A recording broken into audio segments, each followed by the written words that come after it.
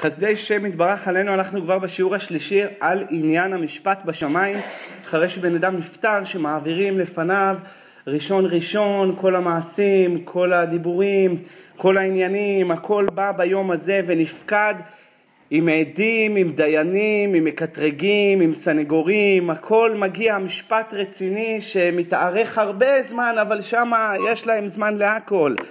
זה לא ממהרים עכשיו לצאת להפסקה.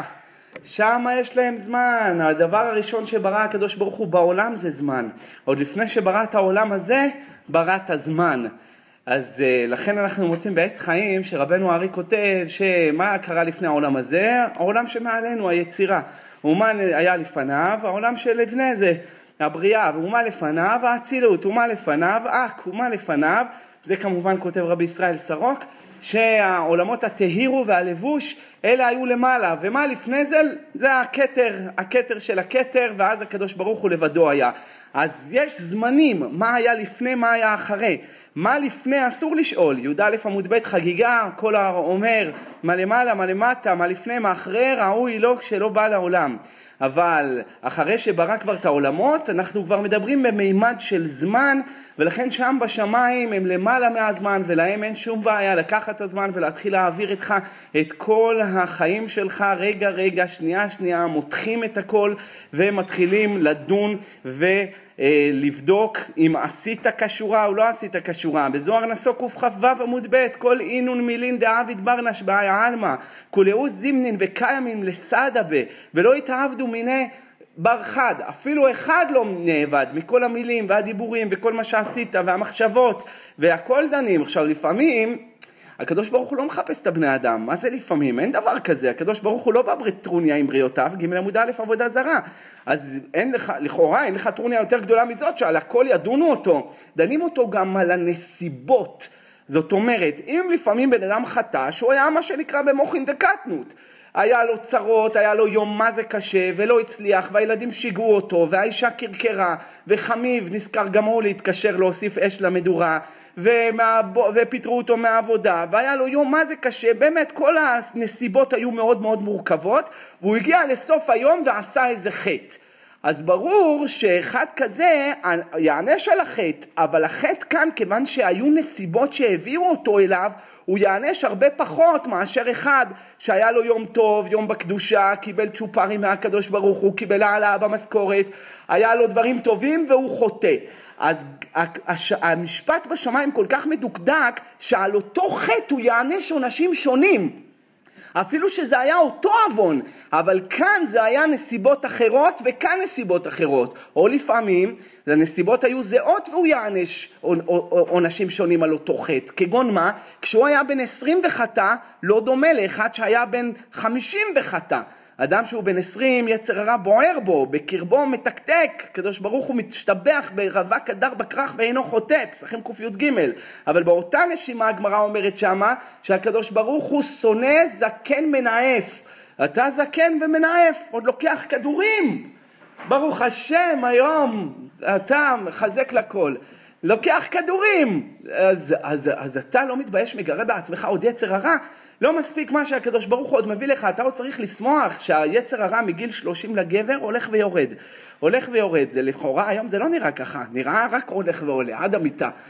במיטה שלו זה נראה הכי, אבל אצל גבר זה הולך ויורד, מגיל 30 לאט לאט. אבל אם הוא הולך ומגרה את עצמו, הגעת כבר לגיל 50, לגיל 60, אז נכון, היה בן 20 יענש אחרת, היה בן 50 ועשה עוון יענש אחרת על אותו חטא, באותו מקום עם אותה אישה. למה? לא דומה. וגם לא דומה שתי בחורים בני 20, יש אחד שיצר הרע שלו חזק, כמו שאמר לו, לך לאומן שעשני בדף כ' בתענית, ויש אחד, יש לו יצר הרע חלש, והוא הולך ומגרה בעצמו את יצר הרע. אתה תגיד תודה שההורים שלך עשו אותך בשבת אחרי חצות לילה שאין לך יצר הרע, כמו שאומר הזוהר הזוהר בפרשת וירא, דף קי"ב עמוד ב', שרב יוסף ירד לבבל וראה שמה זכרים ונקבות מתערבבים ולא חוטאים, צעירים, ושאל אותם, היי מאי, איך יכול להיות? אמרו להם, ההורים שלנו עשו אותנו בקדושה וטהרה והארכנו בזה. אז אחד שעשו אותו בקדושה וטהרה וחוטא, זה לא דומה אחד שעשו אותו בקליפה וחוטא. ההוא מסכן יצר הרע מקשקש, מתקתק בו, ואתה אין לך יצר הרע. אתה הולך ומחפש אה, הרפתקאות במקום שתיכנס בתי כנסיות, בתי מדרשות ותמלא את העולם הבא שלך בתורה ומצוות.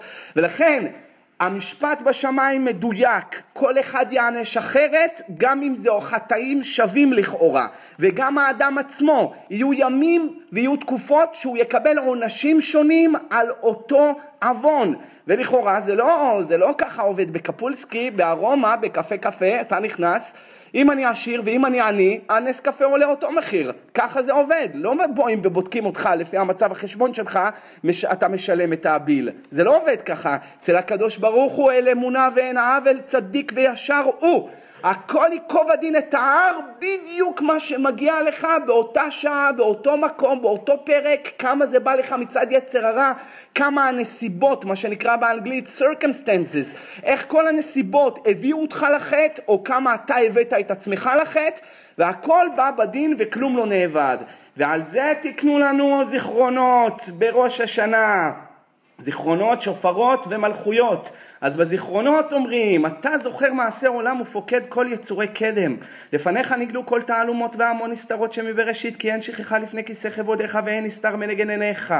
אתה זוכר את כל המפעל וגם היצור לא נכחד ממך, הכל גלוי וידוע לפניך, אדוני אלוהינו. צופה ומביט עד סוף הדורות, כי זכר כל היצור לפניך בא מעשה איש ופקודתו ועלילות מצעדי גבר, מחשבות אדם בתחבולותיו ויצרי מעללי איש. כי זוכר כל הנשכחות אתה ואין שכחה לפני כיסא כבודיך, ברוך אתה השם זוכר הברית. ולכן זה לא רק בראש השנה הוא זוכר, הוא זוכר גם אחרי שייפטר אדם מהעולם, הכל מגיע לדין. והיסוד הזה שהזיכרון אצל הקדוש ברוך הוא מופתי, מה שאנחנו היום קל לנו מאוד להבין, הכל מוקלט. אז לפני אלפיים שנה כשכתבו את הזוהר, כשכתבו את הגמרא, תגיד לא ישמעו אותך בעולם, בעולם הבא, מה שדיברת, זה נשמע הזוי, מה ישמעו? מה, איך ישמעו? אבל היום הרי הכל פשוט, אתה מוקלט בווידאו, אתה מוקלט באודאו, היום מקליטים אותך, היום גם אם אתה לא יודע מקליטים אותך. באים ושואלים אותך שאלות. אז מה אתה אומר על השחיטה, רבנו? מה אתה אומר על השחיטה? נו, אז מה אתם רוצים? שגם אותי יכניסו לתוך הבלגן שלכם?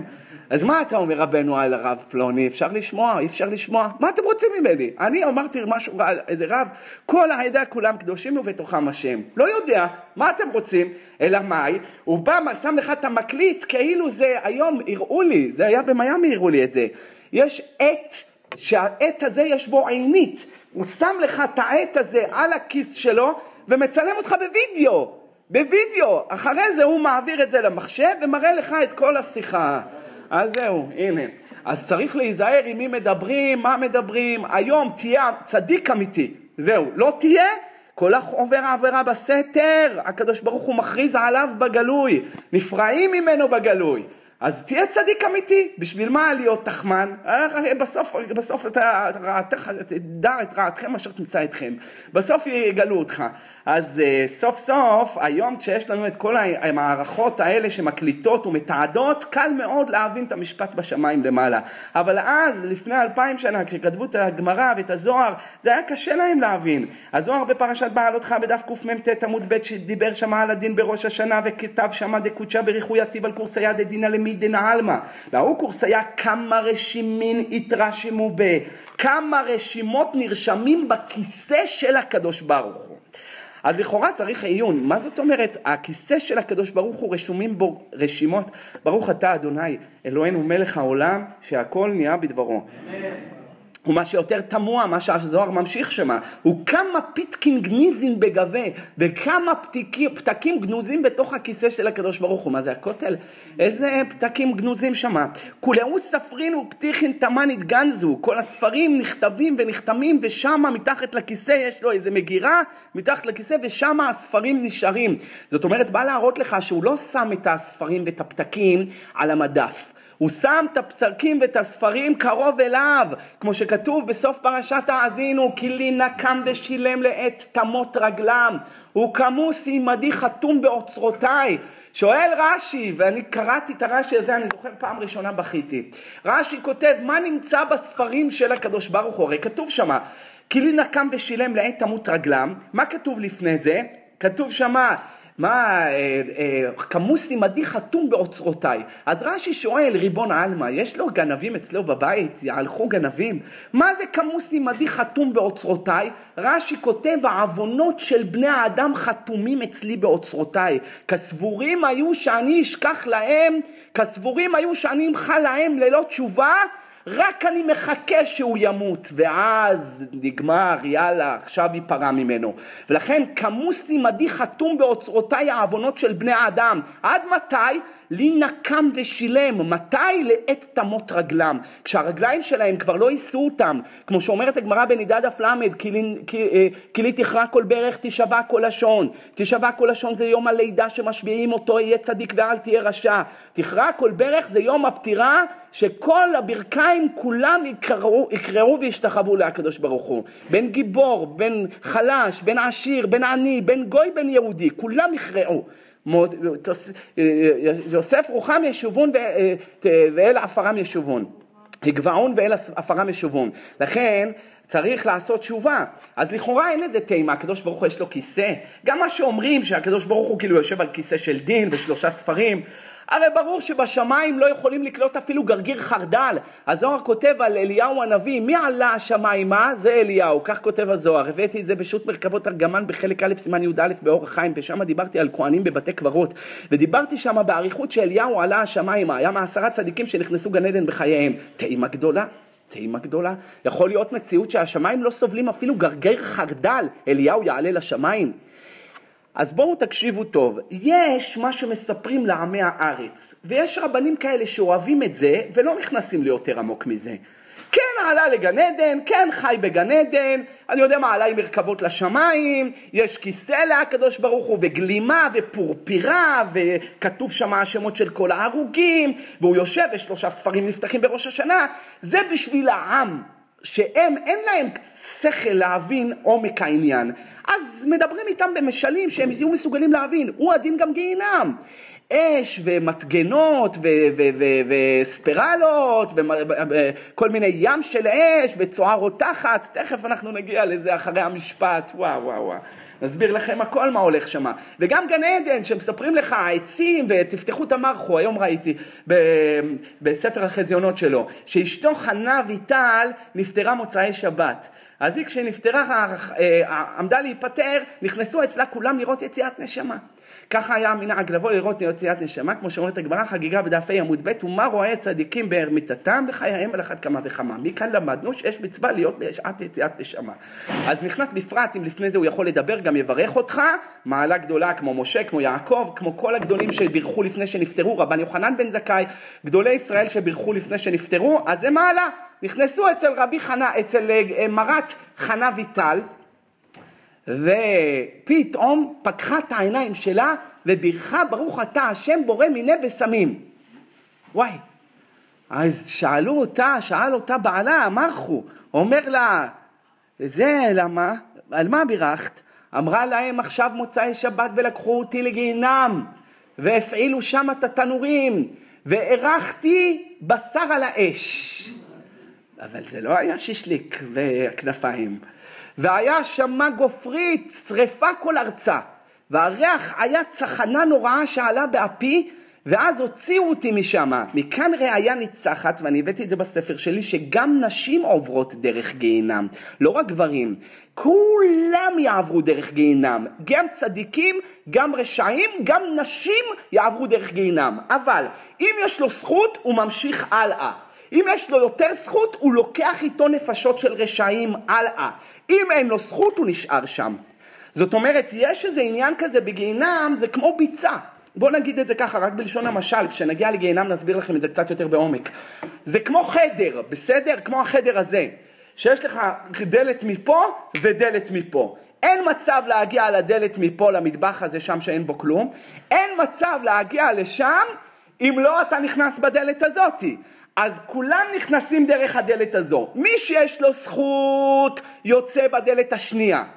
מי שיש לו יותר זכות אוסף נפשות של רשעים, כמובן רשעים שתם זמנם בגיהינם, לא מה שמספרים לכם רבנו יציל אותך ממשוך אותך עם הפירות בגיהינם. איזה פאות? מה הפאות? אדרבה, עם הפאות שלה גם יכניס אותה לגיהינם ועם הפאות שלו גם. נו מה? איזה פאות? מה זה שכתוב בזוהר שה, שהצדיקים מצילים את הרשעים מגיהינם? מדובר שמה שתם זמנו, 12 חודש או כמה שזמן שצריך נקצב לו, הוא סיים, הוא לא יכול לעלות לגן עדן. עד מתי? עד שיבוא צדיק והוא יעלה על המרכבה שלו ועולה איתו לגן עדן. יש מקום בגיהינם שזה חדר המתנה, לא דנים שמה. יש מלא ראיות לזה בזוהר, אני, כשנגיע לגיהינם אני אדבר ואני אזכיר את המקורות על הראיות וכשיצא הספר תראו את כל הדברים יותר באורך. גמר את הגיהינם שלו, זהו, את המשפט, הוא יושב בשערי גיהינם. יש מקום, שערי העיר, שם נמצאים, יושבים שם ומחכים עד מתי? עד שיבוא איזה צדיק וירים אותו. עכשיו, אם יש לו זכות והצדיק הציל את נפשו, אז יש צדיקים יכולים להציל רק את עצמם. אז הם נכנסים לגיהינם ועוברים לחדר השני, היינו לדרך לגן עדן. אבל אם יש לו זכות יותר גדולה, הוא גם אוסף איתו רשעים שנמצאים בשערי גיהינם, ולוקח אותו איתם, איתו לגן עדן, ואוטובוס, מורידים כל אחד בתחנה שלו. אחר כך, אם אין לו זכות, הוא נכנס לגיהינם והוא לא יכול לצאת משם. יש לו אביות החומר, מה שנקרא בגמרא, גיטין ז' עמוד א' למטה, הגמרא אומרת, ונגוזו ועבר, הגמרא אומרת שמה משל לשתי כבשות שהיו רוצות לעבור את הנהר. אחת גזזו לה את הצמר, אז היא עוברת את הנהר והזרם של המים לא לוקח אותה. אחת מלאה בצמר, איך שנכנסת לנהר כל הזרם מושך אותה כי יש לה הרבה צמר והיא עובר, עוברת, נכנסת בתוך הנהר עד שמגיעה למפל ומתרסקת. אותו דבר, הגמרא מביאה את זה לעניין מי שנתן צדקה. אם נתן צדקה, בא לעולם הבא ולא נתן צדקה, כל יחד איתו עליו הפקלאות, אז ייקח אותו האופל. אבל אם הוא נתן צדקה והוריד מעצמו דינים, אז ממילא עובר את, שער, את גיהינם כמו שצריך. אותו דבר גם כאן. בגיהינם מי שיזכה יעבור בעצמו, יזכה יותר לוקח איתו אחרים, לא יזכה לא יוכל לצאת משם. עד מתי? עד שיקצבו לו מה שיקצבו לו. ולכן זה חמור מאוד, צריך מאוד להיות זך ונקי כדי שגיהינם לא יתפוס אותו. הזוהר כותב שהרשעים, ויש רבנים רשעים וגם דיינים רשעים, שהם בטוחים שמעבירים אותם בגיהינם כדי להציל אחרים. ואותם לוקחים שם. והוא נכנס לגיהינם בטוח בצדקות שלו. אני הייתי במיאמי, היה איזה רב, רב, רב עלק. והוא הציג עצמו דיין, דיין. בסוף סגר את הבית כנסת שלו כי הוא הלך מכות עם אחד המתפללים. דיין, עליו נאמר ברוך דיין האמת. מה זה? זה, הגמרא אומרת במסכת אה, סנהדרין נ"ח עמוד ב', אפילו לא היכה, אלא רק הרים את היד שלו, כבר על זה לבד, על זה לבד נקרא רשע, שנאמר למה תכה ולא למה הכית, אז כל שכן כאן, הרים את היד, סגרו את הבית כנסת, ועוד ממשיך להפיץ את עצמו דיין עם כל מה שעושה שם במיאמי, כאילו, ואנשים אוכלים את הלוקשים שלו עם הזקן הענק והפרק שלו, זה העיקר. עולם הבא אתם תראו בדיוק מראשון לציון, עולם הבא אתם תראו בדיוק מעבד השם, משקר, מכזב, פה העולם הזה, איך אמר רבי יוסי מסכת שבי, בגדיי מכבדותיי, הבגדים שלי זה מכבדים אותי. הרב בן פורת אמר לי פעם, מאיר, תדע לך שפעם באיזה כנס לפני 30 שנה ראיתי את הגאון הרב ראובן אלבז, ואמר לי הרב אלבז שאם היה לי, ככה הוא אומר על עצמו, אם היה לי גלימה לבנה, לא היה לי שום בעיות תקציביות בישיבה. כי אנשים אוהבים, בבא קמא, אוהבים, אוהבים, העין קונה את הכל.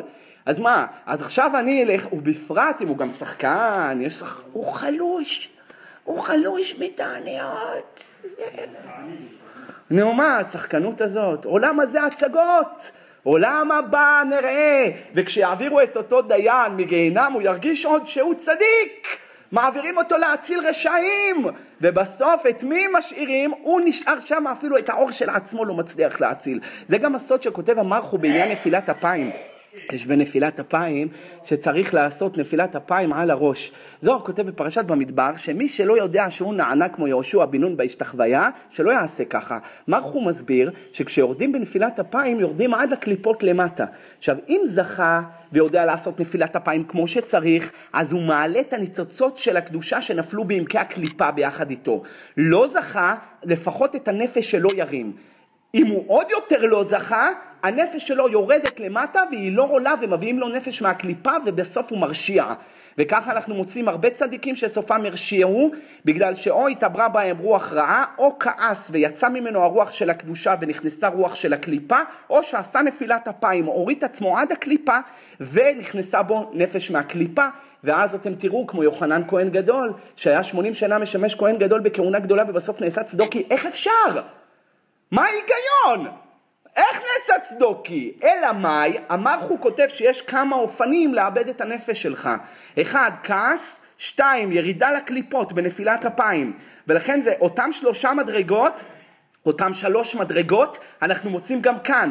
אחד, זכה, מעלה את הניצוצות קדושה מהקליפה אם הוא נופל בנפילת אפיים על הראש. היום אנחנו לא עושים את זה כי אנחנו, אנחנו אוי ואבוי לנו אם נעשה דבר כזה. אנחנו לא סומכים על עצמנו בכלל. רק יש, יהי שם השם מבורך מעתה ועד עולם, כולם מבסוטים, אש! כאילו עכשיו זכו, הנה שבוע הבא יהיה לכם יהי שם השם מבורך, שלושת ימי ההקבלה. אבל סוף סוף זכה מעלה את הניצוצות קדושה מהקליפה, זכה פחות מעלה לפחות את הנפש שלו מהקליפה, בלי ניצוצות קדושה. לא זכה נשארת הנפש בקליפה, מקבל נפש, מקבל נפש מהסיטרא אחרא והפסיד עכשיו, תראו. אז הבני אהרון מסתפק מה יהיה הדין לעידן המצוות שהוא עשה, הרי הנפש בגיהינם, איך הוא יקבל, מה יהיה הדין אם הוא לא התחתן עדיין, אחר יקבל את האישה שלו, כי הוא הפסיד את הנפש שלו, הנפש שלו צריכה להתחבר עם מישהי אחרת. קיצור, יש הרבה מה ללמוד רבותיי, כשנגיע לגיהינם, בלימוד, כן? אנחנו נדבר על זה ונעריך ונסביר לכם את הכל. על כל פנים, מה שיצא מכאן, שסוף סוף צריך אדם להיזהר אה, כמה שיותר, שידע שכל מה שאנחנו מדברים בענייני ספרים וכיסאות ופתקים, והפתקים יוצאים בהושענא רבה והספרים נפתחים בראש השנה וקדוש ברוך הוא יושב על ראש דין, על, על כיסא של דין ולפעמים מעבירים אותו מכיסא של דין לכיסא של רחמים. הכל זה רק עניינים של משלים. עכשיו זה לא סתם משל בעלמא, יש עומק לזה. הכיסא רומז תמיד לעולם הבריאה. הבינה תמיד יושבת שם, זה עולם הבריאה נקרא הכיסא. והקדוש ברוך הוא כשהוא יושב אז הוא מגיע לעולם הבריאה. ולפעמים הספרים תמיד רומז למלכות שהכל נכתב בה. וזה הטעם למה קוראים לזה ספירות גם שספירה מלשון ספורה מה שאין כן קודשא בריך הוא דאוחד ולא בחושבן. ויש ספירה מלשון ספיר יהלום שהן מהירות ויש ספירה שהכל ספור בה הן לא משפיעות מה שהן רוצות. קדוש ברוך הוא מנהג את העולם דרך הספירות, צריך להנהיג אותם בחסד לפי מעשה הבריות, אז הוא משפיע חסד דרך ספירת החסד, אבל האור של הקדוש ברוך הוא אין בו שינוי. ומה יהיה שינוי? בספירות עצמם. רק אם כבר נגעתי בזה אז אני אסביר לכם את זה בלשון יותר ברורה. קצת מורכב, לא יודע איך נכנסתי, אבל כבר כשנכנסתי אז נסביר. הקדוש ברוך הוא כשהוא יצר את העולם אז הוא רצה להנהיג את העולם. אז מה שהוא עשה הוא יצר עשרה כלים, עשר ספירות, האמת שלכאורה אנחנו מוצאים אחת עשרה אבל את הדעת אנחנו לא מונים אותה. אז ממילא יש לנו עשר. וכל הספירות האלה לא שבקדוש ברוך הוא יש שינוי, לפעמים אתם רואים שהעולם בשפע, לפעמים שבע שנות רעב, לפעמים שבע שנות צבא, לכאורה כאילו הקדוש ברוך הוא משתנה, משחק איתנו בשינויים וזה חס ושלום, קדוש ברוך הוא זה כמו חשמל, אני אסביר לכם את זה בלשון המשל. חשמל, יש לי נקודה של שקע בחשמל. עכשיו, כשאני מכניס את המאוורר, זה יביא, זה יביא אה, אוויר. כשאני מכניס את המייבש כביסה, זה ייבש כביסה. כשאני מכניס את הצ'ארג'ר לטלפון, אז זה יטעין לי את הטלפון. החשמל הוא אותו חשמל, רק המכשיר השתנה. ככה האור של הקדוש ברוך הוא, כשהוא יורד לספירות, זה אותו אור. מה משנה אותו? איזה ספירה הוא העיר עליה, וממילא מכאן יוצא, יוצא החסד או הדין או הגבורה או הנצח, תלוי איך הוא מנהיג אותנו בעולם. זה, אני לא מאמין שאני אעשה על זה שיעורים, אה, בטח לא כאן, כי זה עמוק ומורכב, אבל בספר שלי, במרכבה הראשונה, אני מעריך בדברים האלה ואני מסביר אותם, כיוון שכבר הסברתי שהספר שנוציא זה הכל מתחילת המציאות עד סוף המציאות. אז לא רציתי להחסיר את זה, הגם שזה מאוד, אה, נושאים מאוד מורכבים, אבל בעזרת השם עוד חזון למועד, בתורה שבכתב ולא בתורה שבעל פה, לפחות לא כאן.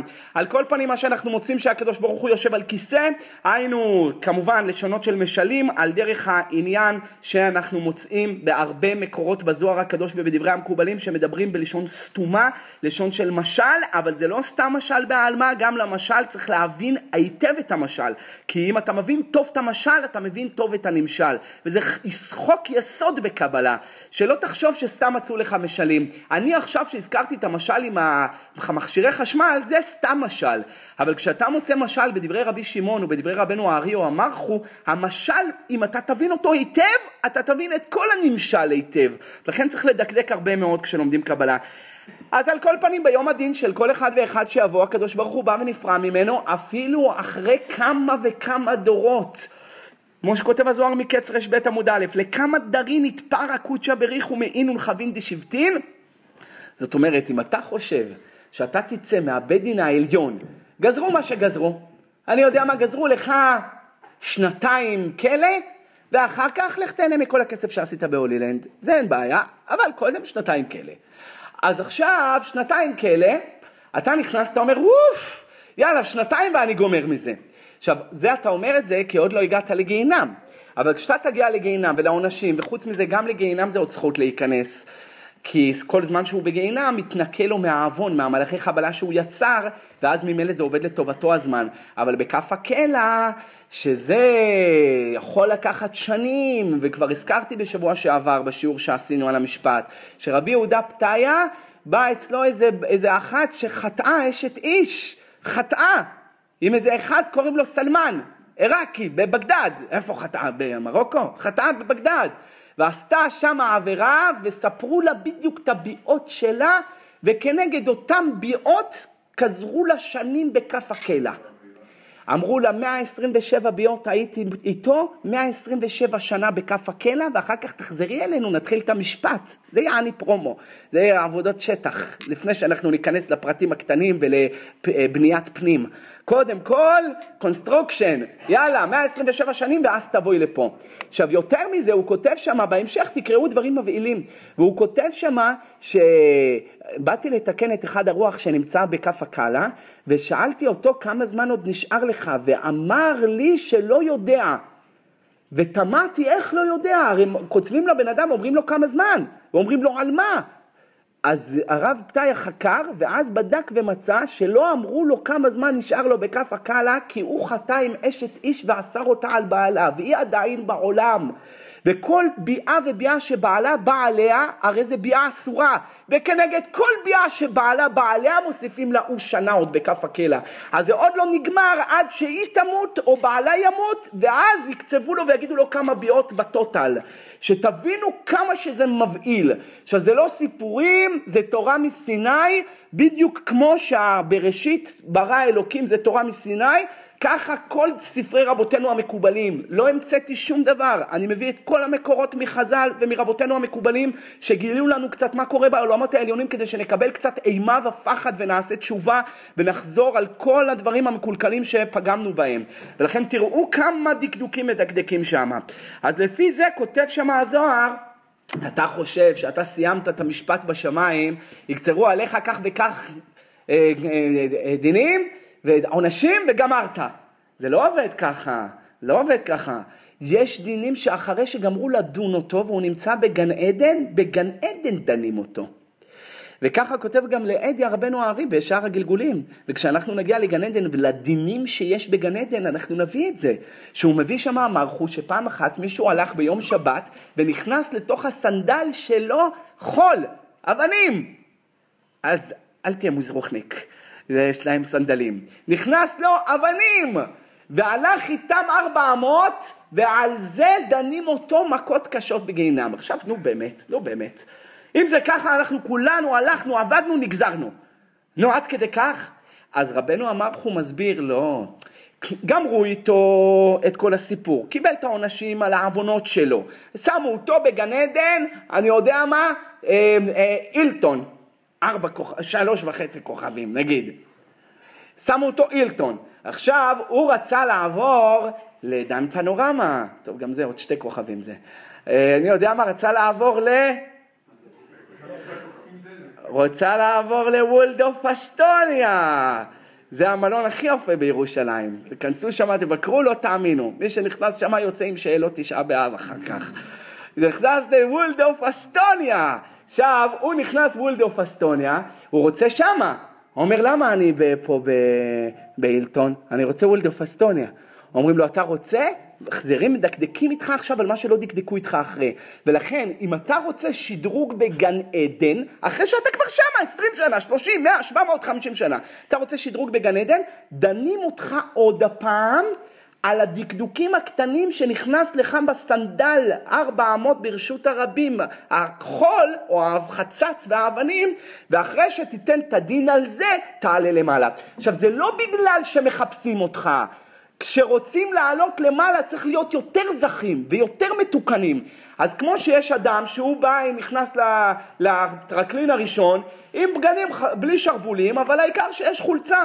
אז זה גם משהו, מכניסים אותו טרקלין ראשון. הוא רוצה לעלות לטרקלין למעלה, אומרים לו, תשמע, בלי שרוולים לא נכנסים בו. אז תלך, תעבוד קצת, תקנה ג'קט, תבוא. הלך, עבד קצת, קנה ג'קט טוב, מעלים אותו טרקלין שני.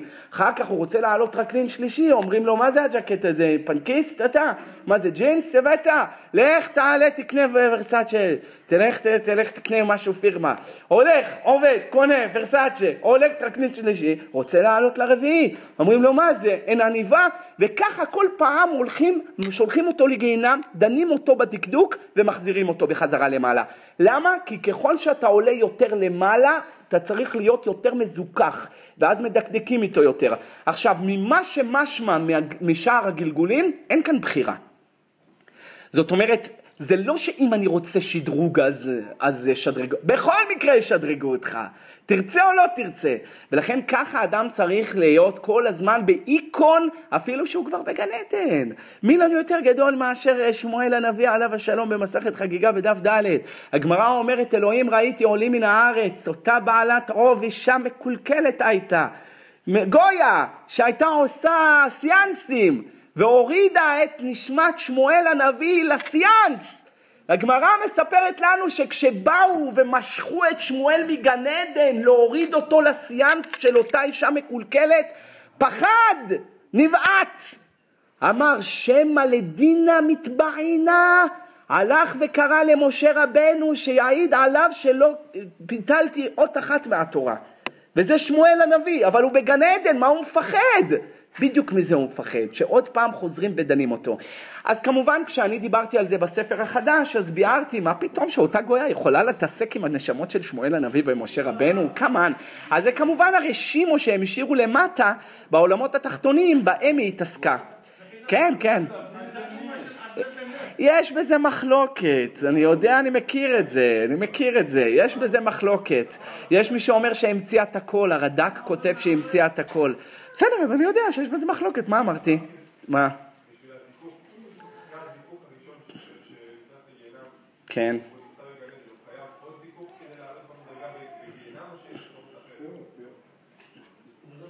מה הפאות? שחררו אותו למדור אחר מהפאות? מתנור לתנור, ממדגנה למדגנה? אה, אה, לא הבנתי את השאלה, עוד הפעם? כן. כן. כן.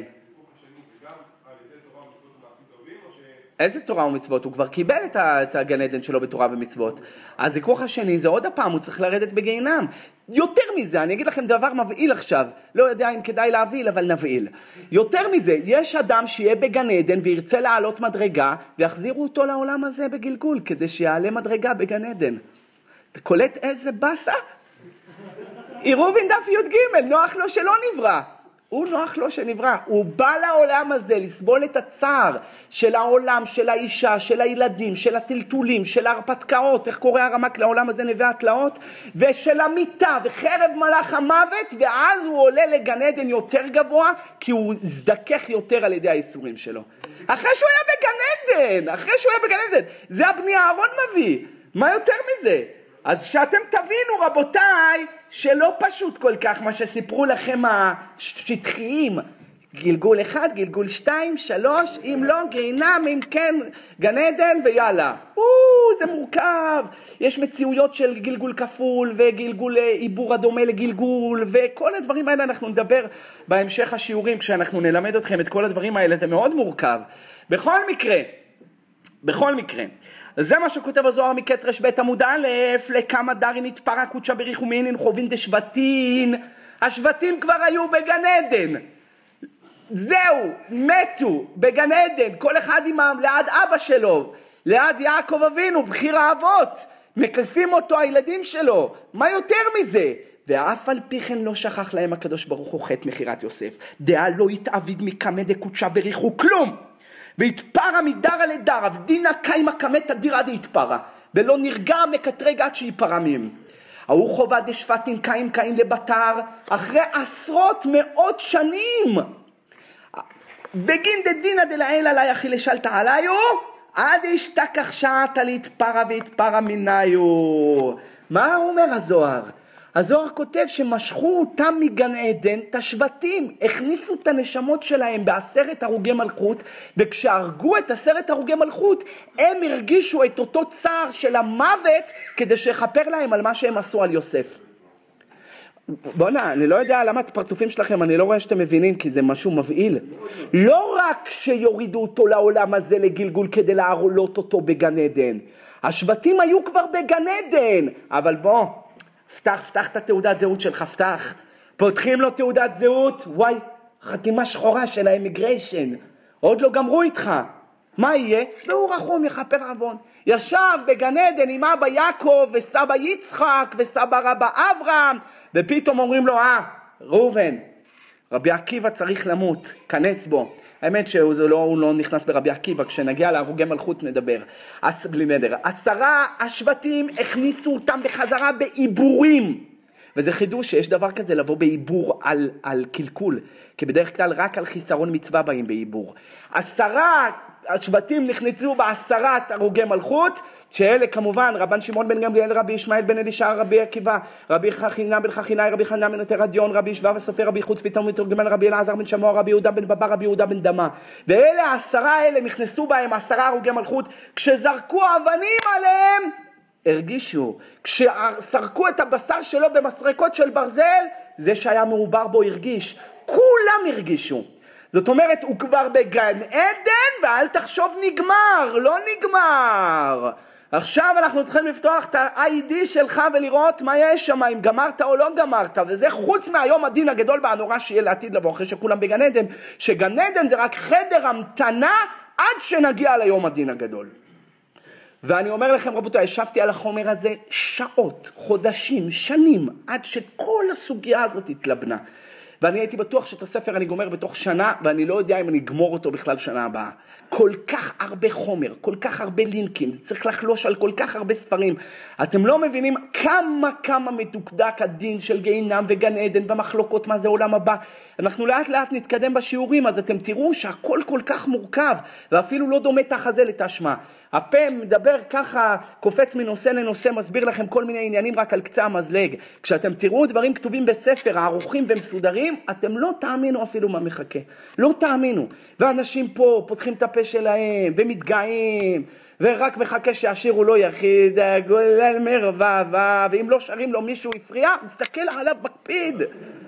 אני ראיתי דברים, אני לא האמנתי, לא האמנתי, איזה רודף אחרי הכבוד, איפה אתה חי, ואתה צריך להסתכל על אחד למעלה. תראה, אנשים, השם ישמור, אתם טועים, אתם בדרך לא נכונה בכלל. נורא ואיום. תראה השבטים, מה היה איתם? גדולים, צדיקים, קדושים, שבטיה עדות לישראל, דף נ"ו מסכת פסחים, ראובן, שמעון, לוי, דס, חר, זבולון, דן, נפתלי, גד, אשר, סבב, בנימין, אומרת הגמרא, כולם צדיקים, שמא חס ושלום יש לכם שורש פורה ראש ולענה, ענו כולם ואמרו שמע ישראל, אדוני אלוהינו, אדוני אחד.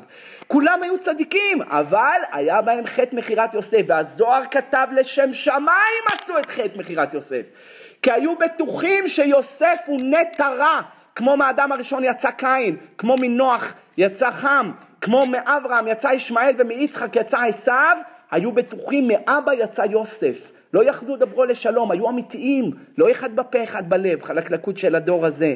לא, היו אמית... לא יכלו לדברו לשלום, אין לי אחד בפה אחד בלב, ואף על פי שהתכוונו לשם שמיים והגיעו לגן עדן, ואבא שלהם זה ינקל, וסבא יצחק, וסבא רבא אברהם, והיו מרכבה לה 12 אלכסונים, 12 אה, צירופים של שמו, שם אדנות, אף על פי כן ירדו בעיבורים וסבלו את הצער של המיטה של עשרה הרוגי מלכות. רבי ישמעאל יוסף הצדיק נכנס בו. יש בזה מחלוקת. יש מי שאומר יוסף הצדיק נכנס בו, למה? אבל יוסף לא היה מהעשרה, אותו מכרו. כל מי שבעל חטא על ידו לחבר שלו, גם אותו יענישו.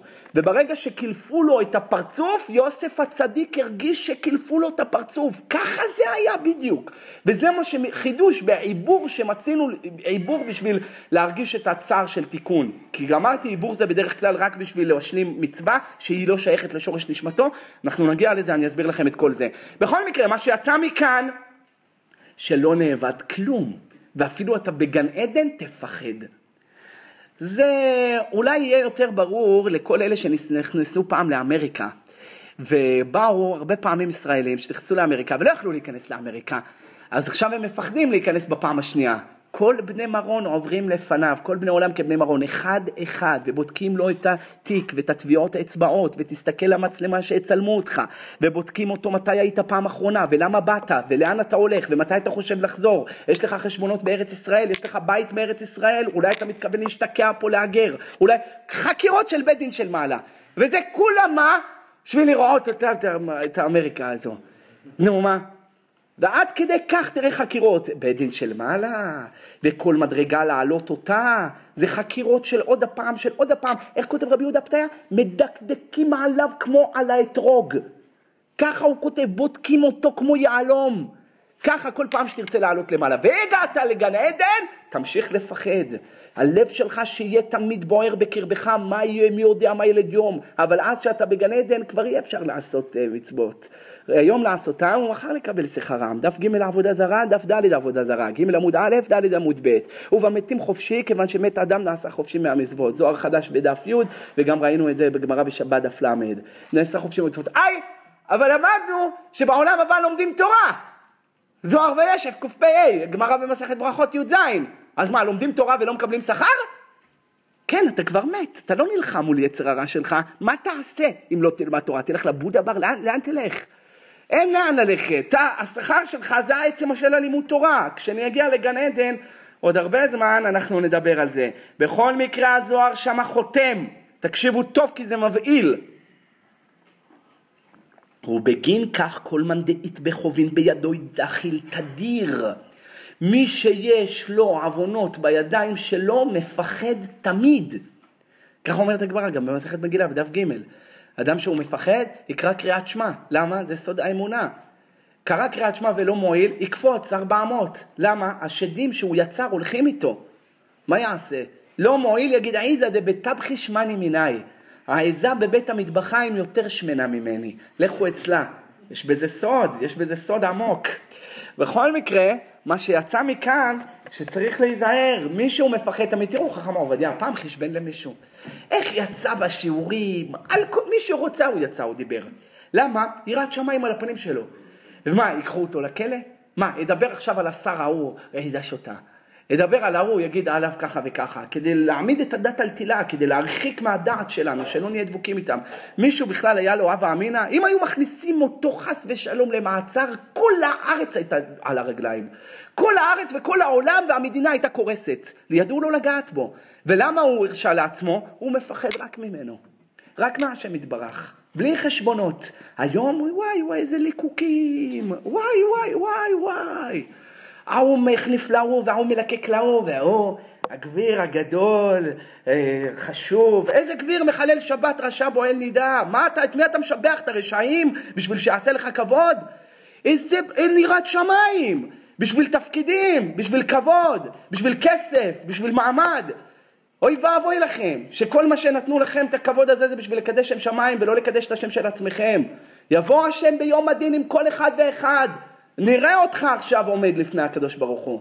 אתה ידעת לבוא, להחניף לרשעים, להחניף לעובדי עבודה זרה, להחניף, הנה, מי שיש, אומר הזוהר, ובגין כך כל מנדעית בחובין, דחיל תדיר, מפחד תמיד. תחזה, בוא תראה. ויראו האנשים כי הובאו בית יוסף ומה כולהו גברים, כולהו תקיפים, כולהו חזקים, חסונים. 12 חזקים, 11 אה, חזקים, הם היו פה עשרה. עשרה, בנימין היה בבית ויוסף היה המשביר. עשרה צדיקים, חסונים, קדושים. וחד הולמה דאייטילון לביתא דיוסף, ונער אחד חלוש, זה היה מנשה, הוביל אותם לבית של יוסף. ומה כתוב עליהם? ויראו האנשים, פחדו, דחלו, היה להם אימה, ממה? אתם עשרה ברגע אחד גומרים את כל מצרים, אומר הזוהר, הם כבר התחילו לחלק את מצרים. אתה הולך לשכונה אה, שיכון ד' בקהיר, אני הולך לשיכון ז' באלכסנדריה, אנחנו מחסלים את כל העיר. את כל העיר, הם יכלו את כולם. ומי היה עליהם? אולמה, אלם, אחד, ילד, 14, 15, זה לא חזק, לא מלומד מלחמה על ידי החרב. דחלו, קדיא תקודשה ברכולי מתבללי דינא דברנש, על אחת כמה וכמה דדחיל. על אחת כמה וכמה שיפחד הבן אדם כשיבוא הקדוש ברוך הוא, מה איתי, גד? הקדוש ברוך הוא האדיר יבוא איתך בדין, מה אתה תדבר? לא תישאר כמו אור, כמו אבק, כמו קש לפני האור. אם לא, אתה תתחיל עכשיו לקחת את החיים שלך ברצינות. מספיק להקפיד על שטויות, מספיק להקפיד על דברים קטנים, מספיק להתחיל לדבר עם האישה כל מיני שטויות. רוצה תקני, רוצים תיקחו, להעמיד את הדת בבית ולא להקפיד על שטויות. אנשים היום על שווה פרוטה יוציא לו את הנשמה. יצא, על שווה פרוטה, על הכבוד שלו. נו, מה יותר מזה? תעבוד עד השמיים, יצר הרע כמו אש בדור הזה. אש. למה? אנשים אין להם יראת שמיים. חרדים, אני לא מדבר על חילונים, מאן דחר שמי, חרדים. אם הם לא ידעו מה הולך לקרות, איזה שואה איומה עתידה לבוא על כל אחד ואחד, אם הוא לא יתעורר עכשיו לעשות תיקונים. תפתחו רבי יהודה פתאיה שהוא כותב איזה תיקונים יעשו, שער רוח הקודש רבנו הערים, מי יכול לעשות את התיקונים האלה? איום ונורא. אז מה, אתה תכתב ותשוב? יהיה עמוד ב' מסכת יומא, כתב ואשוב אין מספיקים בידו לעשות תשובה. מה שעתיד לקרות לבן אדם, והכל מתועד, והכל, את הכל אתם תראו שהבאתי בספר, הצלבתי מקורות. וזה לא סתם לוקח לי זמן, כי אני עובר מכריכה לכריכה על ספרים. מכריכה לכריכה. ומצליב מקורות, מהמרחו לרבנו הארי, מהרמק למרשה לשלה, את הכל מצליב מקורות בשביל להראות לכם איך כולם כיוונו לאותו עניין. שהיו בדורות אחרים, שהיו במקומות אחרים, שלא ראו זה את זה, את הספרים של זה את זה, וכולם כותבים את אותם עניינים. למה? רוח השם דיברה בם ומילתו על לשונם. נו, במדרש תנחומה פרשת ויגש זין רבי אלעזר ברבי שמעון בשם רבי אלעזר בן עזריה. אמר יוסף לאחיו אני יוסף! וידעו כי אשמים הם ולא יכלו אחיו לענות אותו כשיבוא הקדוש ברוך הוא להתווכח עם כל אחד ואחד מבריאותיו ויגיד לו שקרן אני יודע שלא התכוונת לשם שמיים לא, אבל אני התכוונתי לשם שמיים, אז בוא עכשיו אנחנו נראה לך שלא התכוונת לשם שמיים. ואז יוציאו לו את הנשמה שלו, משוכבת חיקך שמור פתחי פיך, תבוא הנשמה תעיד. תכף אנחנו נדבר על העדויות, אני לא יודע אם נספיק היום, אבל נדבר על העדויות מי מעיד בו, ולמה צריך שיהיה עדים. לכאורה, אחרי שנפטר, שים אותו בגן עדן או בגיהינם. בשביל מה? זה, אנחנו נדבר על זה בהמשך. בכל מקרה, בשאלות ותשובות עשה לך רב חלק ב' סימן ב', הוא כותב שמסוגלים לראות ולהבין ולתפוס בשמיים כמות עצומה של אינפורמציה או מחשבה, ואדם נידון על כולם, וזה מה שהגמרא אומרת, אור שיקר בעולם הזה כפוי לעולם הבא. מה שקשה לקלוט בעולם הזה, בשנייה אחת אתה קולט בעולם הבא. ואני כבר נתתי את הדוגמה עם wireless. שם של איזה מלאך חבלה מגיהנם. wireless. מה wireless? בעולם הזה אני צריך לבוא ולהסביר לך, תשמע, אתה יודע מי אני? אני הרב פלוני אלמוני, אתה יודע מה עשיתי? יש לי ישיבה ויש לי ככה, וכתבתי ספרים והוצאתי דיסקים ועשיתי ככה, ואני עושה גמילות חסדים בסתר, ואני עושה, ומסביר לך את הכל. עולם הבא, ב wireless, אתה קולט ברגע אחד את המדרגה הרוחנית של הבן אדם שעומד מולך. ברגע אחד, בעבירות זה תלוי. אם הוא גם עבר עבירות כמותך, אתה רואה את זה. אם לא, יש מצב שלא. ככה מובא ברוחות מספרות, שרק אם הוא עשה את אותן עבירות מאותו הסוג שלך, יש לך כוח לראות את זה, כי הקדוש ברוך הוא חס על הבריות שלו. אז נו, אז כמה צריך להיזהר מזה? בכל מקרה, קו הישר אחד מהאחרונים, והוא באמת היה גאון גדול, והוא כותב בפרק י"ב בלשון הזאתי: מה צריך האדם להתפלל בבכי גדול לפני הקדוש ברוך הוא שלא יהיה מבויש בבואו לפני הכיסא כבודו אחר צאת נשמתו מן העולם ואל יחשוב שאין לו מה לדאוג ויש לו הרבה זכויות שאפילו הרשב"י מי יותר מרשב"י? מי יותר ממנו? אמר על עצמו דלא אעיל בכיסופה קמא פלטרוי דעבדינא לא אעיל לכיסופה להוא עלמא נו, אז רבי שמעון בר יוחאי עליו השלום אומר שאני לא יעלה לעולם הבא. דלא עיל בכיסופה לעלמא דעתה דלא עיל בכיסופה קודמך. הוא אומר בעצמו, אני צריך להכין לעצמי את החלוקה דה רבנן, מה שנקרא הדרשה. זה אנחנו אולי נדבר על זה בהזדמנות.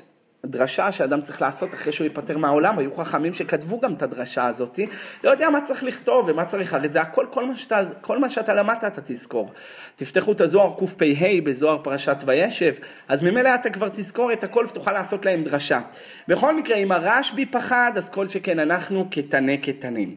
טוב, בכל מקרה, עד כאן החלק הזה של הזיכרון בבית של מעלה, ועכשיו אנחנו רוצים לעבור לעומק הדין. אז כבר דיברנו באריכות, אני לא רוצה לטחון, כבר הבנו שצריך מדקדקים, כבר הערכנו שידקדקו וישקלו וימדדו ויספרו את כל המעשים והדיבורים והמחשבות והרהורי הלב, הכל יבוא בדין, אבל בספר ראשית חוכמה, מי כתב אותו? רבי אליהו דוידש, הרב חידה כותב שמי שילמד בספר הזה, אין ספק שתתנוצץ אצלו רוח הקודש. נו איזה מעלה גדולה, אדם רוצה רוח הקודש, ילמד את זה. ספר הזה יש בו מעלות גדולות, זה כולו אש על עבת ים בעבודת השם. בשער העירה בפרק י"ב הוא כותב, אני הכותב שנת A אלפים ש"ל בחודש אלול, בא אליי בחלום הלילה נפש מאותו עולם. והיה זה כבר שלושה חודשים אחר פטירתו. והייתי שואל אותו על ענייני העולם הבא והיה משיב לי בארוכה. ואמר לי, דע, כי מדקדקים באותו עולם הרבה מאוד יותר ממה ששכל אנושי מסוגל לסבול. ככה הוא כותב, וממסילת ישרים רמח"ל כותב בפרק ד' עומק הדין עד היכן מגיעה אשר באמת ראוי להזדעזע ולהתחרט תמיד כי מי יעמוד ביום הדין ומי יצדק לפני בוראו באשר השקפתו מדקדקת על כל דבר גדול וקטן. לכן עכשיו אתם תבינו את הגמרא במסכת פסחים נ"ד עמוד ב' שהגמרא אומרת שם שבעה דברים מכוסים מן הבן אדם יום המיטה, יום הנחמה, מה בלב חברו, במה משתכר, מלכות בדוד מתי תחזור, מלכות חייבה מתי תכלה ועומק הדין. עומק הדין בכוונה מסתירים את זה ממנו, כדי שהוא לא ידע, כי אם היה יודע, לא היה יכול להכניס פירור לתוך הפה שלו. אז כדי לשמור על זכות הבחירה, מסתירים את עומק הדין. מדי פעם ופעם הקדוש ברוך הוא מביא רבנים שידברו על זה, כמו שאנחנו עושים עכשיו, שנראה לכם את עומק הדין, כדי שכל אחד יזדעזע. בהרשב"ץ, עליו השלום, יש לו פירוש על מסכת אבות, ושם אני מצאתי בפרק ד' משנה כ"ב, הוא כותב שמה, שהמשנה אומרת שמה, ברוך המקום ברוך הוא, שאין לפניו לא שכחה ולא עוולה ולא משוא פנים ולא מקח שוחד.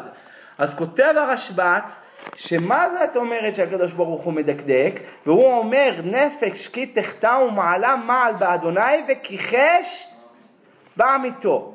אז הוא שואל אני לא מבין אבל כתוב כיחש בעמיתו אז מה זה קשור למעלה מעל בהשם? כיחש בעמיתו. לא, כנף, לא, לא הלווית לי אף פעם, לא היו דברים מעולם. כיחש בעמיתו, מה זה מעלה מעל בהשם? אז הוא מבאר שכשאתה עובר עבירה של בן אדם לחברו, אתה גם עובר עבירה של בן אדם למקום שציווה על זה שתכבד את החבר שלך ולא תכחש. זאת אומרת, לא רק שמדקדקים בין אדם למחו, למקום ובין אדם לחברו, בבין אדם לחברו זה מתחלק לשתי חלקים, שגם אם החבר מחל, לא ביקשת סליחה מהקדוש ברוך הוא שעברת על כיחש. זאת אומרת, צריך לבקש סליחה לא רק מזה שאני עכשיו אה, אה, העלפתי מישהו ברבים, השפלתי אותו, יפה, ביקשתי ממך מחילה, מחלת, בסדר. טוב שגם אם השפלת אותו, תקנה לו משהו. זה יהיה לו קצת אה, מה שנקרא מים אחרונים. תביא לו איזה ספר יפה, איזה משהו שיהיה באמת תוציא מהכיס שלך גם. תלוי גם גודל ההשפלה ומה היה והנסיבות והכל, אבל תמיד תמיד תהיו לארג'ים. תמיד תדע לעשות מים אחרונים לכולם. אז תעשה לו מים אחרונים, תביא לו איזה סלסלה של שוקולד, מרמלד, מעמול ומערות, אני יודע מה, תקנה לו איזה סלסלה, יש פירות עם דקורציה. אתה לא רוצה לאכול את הפירות מרוב שעשו דקורציה. אז עושים לך פירות עם כל מיני זה, אז אתה מביא לו את זה, מחילה, לא התכוונתי, באמת מביע חרטה, אז מוכלים, מה אפשר לעשות? הגבעונים לא מבני ישראל המה. מי שלא מוכל, יש חשש שמא לא מזרע ישראל, שעם ישראל מוכלים, וכמו שאתה רוצה ימחלו לך, תמחל גם אתה לאחרים. אז ממילא מחלתי, תן לו איזה משהו. אבל זה עדיין לא נגמר. לא ביקשת מחילה מהקדוש ברוך הוא שעברת על זה שציירת את הבן שלו. ולכן הוא כותב, צריך להיזהר בזה מאוד, והוא מביא מה שאומרת המשנה במסכת, הגמרא במסכת בבא קמא בדף נ עמוד א', כל האומר הקדוש ברוך הוא ותרן, יוותרו מאב. והגמרא בירושלמי בשקלים אומרת יוותרו חייו. מה אתה אומר, הקדוש ברוך הוא יוותר? לא מוותר, מעריך הפה וגב ידידי. מחכה, מחכה, מחכה, מחכה. אתה, אתה תחזור בתשובה? מקבל אותך, ימינו פשוטה לקבל שווים, אה, קי"ט מסכת פסחים. לא תחזור בתשובה, העוון שלך, לפתח חטאת רובץ, רש"י כותב, מחכה לך סמוך לקבר, העוון שלך.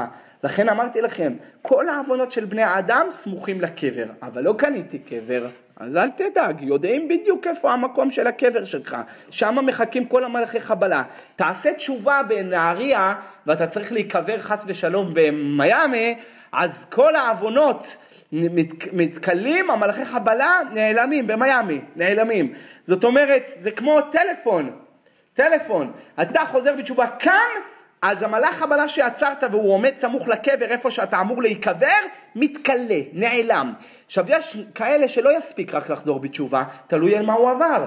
פ"ו עמוד א' מסכת יומא, ביטול העשה, או לאווים, זה כבר יותר חמור, או כריתות ומיתות בית דין, או חס ושלום חילול השם. אז כל אחד לפי העניינים שלו, ומה הוא כותב, כל אומר הקדוש ברוך הוא ותרני ותרו מאב, כותב הרמב"ם והמאירי. עכשיו, זה כיף ללמוד ראשונים על, ה... על המשניות. למה? כי כשאתה לומד בכלל ראשונים, כל מילה שלהם זה זהב. אחרונים כותבים הרבה, אה, לפעמים כותבים דברים שלא כתובים בשם הזוהר, לפעמים בשם המדרשים, לפעמים בשם אמר לי, ראיתי, שמעתי, לפעמים סתם עושים קופי פייסט, קופי פייסט, הנה הוצאתי עוד ספר, לא תמיד משקיעים, צריך עיניים חדות לדעת.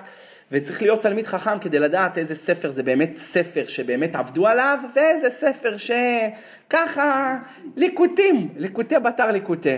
אז uh, הראשונים אין להם ליקוטי בתר ליקוטי, כל העבודה שלהם. אז תמיד כשאנחנו פוגשים את הראשונים, הכי שווה. לכן אם אתם לומדים uh, uh, אבות, אף פעם אל תלמדו את זה סתם, כל מיני אחרונים סיפורים. תלמדו תמיד קודם כל ראשונים.